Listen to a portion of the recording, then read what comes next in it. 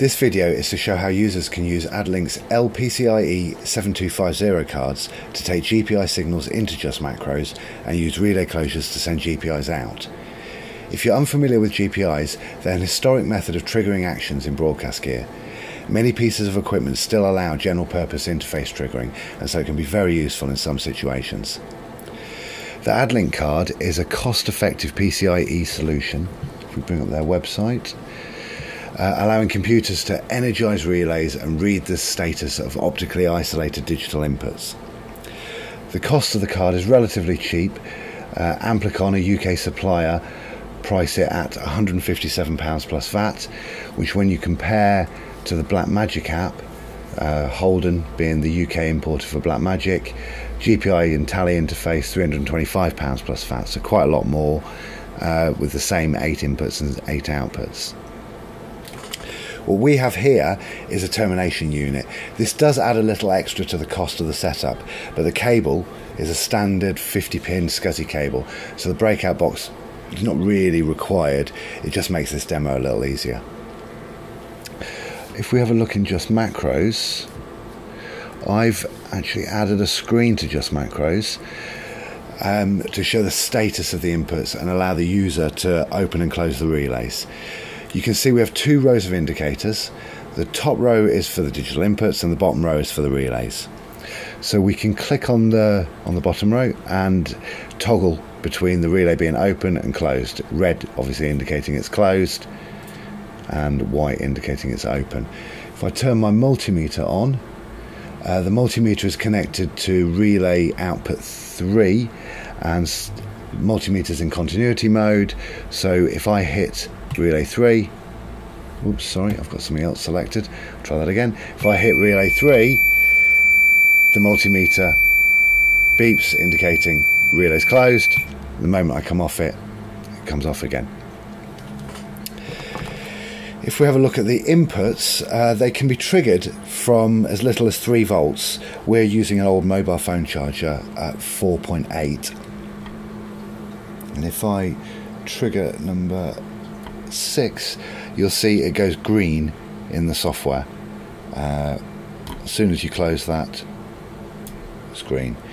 On input 8, we have a little processing which will close relay 2 for 1.5 seconds.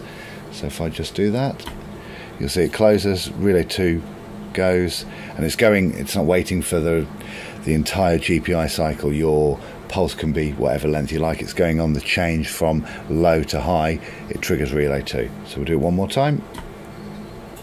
There you go.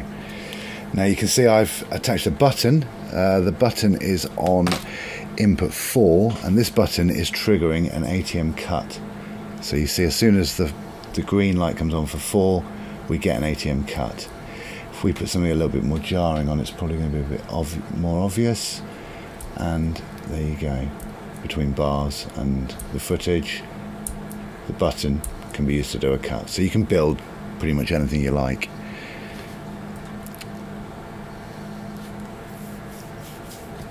If we switch back to relays for a moment and I open up the X keys screen and show this button what we can see here is we've got in the on down the code closes the relay with that command and in the on up it reopens the relay. So if we test that you can see nope, sorry there you go. Again there's really no latency. The moment I touch the button can see everything's nice and quick and it's just very simple code, one line of code to make each change. So finally, if we have a look at the most obvious use, uh, I toggle one more time our functionality. Tallying is obviously what relays are most often used for. That's why the Blackmagic app is a, a, tally unit. And what I've set up here is when input 5 is on air, it will close our relay 3. So if we just look at that, the moment 5 goes on air, our relay closes. and the moment we go to something else, comes off again. So you can use that for tally lights or anything else you can think of. I hope this makes it quite clear and uh, easy and cost effective. Thank you.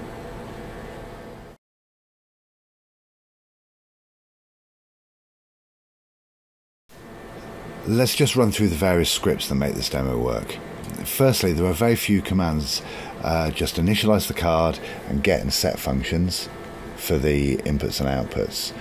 Um, there's nothing really more to it than that. It's all really done with a GPI monitoring script. Uh, that's in the samples, which is now a, a separate download, AdLink PCIe 2750. And if we have a look in there, we'll see it's very similar to the MIDI updates we looked at in the previous video. Uh, we have a start and a stop. Uh, in this case, the start is the, the processing is moved to another script which is actually just launched by the start. So if we have a look at the processing script, uh, we'll see again, similar to yesterday, we initialize an array to hold the current state of all the inputs. Um, and then we set we use a, an environment variable to go around another never-ending loop, or it, will, it ends when the environment variable is set to something else. Um, we check that the card is active, and then we go round eight the eight inputs, and we read whether or not that input status is high or not with that line of code there.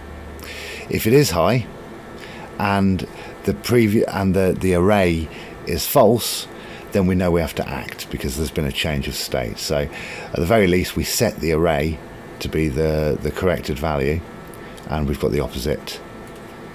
We've got uh, high to low done there as well. And um, I'm also recording the time at which it happens. Uh, the reason for that is sometimes when with a switch you need uh, what's sometimes called a debounce timer, which means that uh, if the switch makes and then breaks and then makes again, then you don't get two two events. You only get one. You trigger on the first one. Um, and we're then just logging to the screen, and then you can see what we do is we say if the input is eight, then we've got our close relay wait oh, for one second. I've always thought it was one and a half, and uh, reopen it again and our input 4 is doing our ATEM ME mixer cut. So if we wanted to change that to a transition instead, I can just comment and uncomment, save the script, and I need to stop the processing and restart it. And then we'll find that our button is now doing a slow fade like that. If we switch to uh, a wipe instead, it'll be a bit more obvious. There you go. So we're now doing a mix on there instead. Okay, that's it. So let's have a look at how the screen, uh, the new GUI screen works. In Just Macros 2.6, it's possible to enable and disable uh, 10 buttons along this top menu bar uh, this is to allow for the new GUIs that we're adding and you know for the user to configure how they want it to look entirely up to them.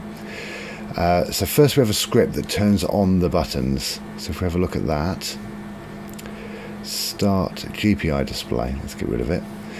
Uh, you can see that what we're doing here is we set the caption of button 1 to be GPI. We then set the script that runs when it's clicked to be 00G open GPI display and set enabled true turns the button on and off. So you can see how simple that is. If I just take that, put it there, false, our button goes away and true brings it back. So you can set up 10 buttons to do anything you want there. So if we have a look at 00G Open GPI display, we can have a look at what that does. GPI display. And what we see here is that it is opening a browser window and is making its HTTP request to the local machine and to the Just Macros 39812 socket. uh, but you can see it's not using the request Lua or execute Lua commands you previously had to use. It is instead providing the name of a script that includes .html. The rest of this script is just setting up the, the height of the window and the position on the screen, the caption and the border style. This is the important bit, and this is the new feature in Just Macros 2.6, is that Just Macros can now serve a page like a web server. So if we have a look at gpi.html, we'll find that in GUI pages. And in here, you'll see repeated use of the new command response write. Uh, this is borrowed from classic ASP, and it basically allows Lua to write to a response document. So, what you can see it doing is adding this, the normal things you'd find in an HTML document the document type, the HTML heading, script. We then add some JavaScript. The first bit is the click action to toggle uh, a relay. The second one updates the relay's uh, status based on what the relay card is saying. Uh, the second bit of JavaScript updates the input status again. Each time it's making a request to just macros. And then at the bottom, you'll see we've got just some very simple code to draw eight boxes to show the inputs and eight boxes to show the outputs. And right at the bottom, we start the, the refresh, refreshing the screen constantly.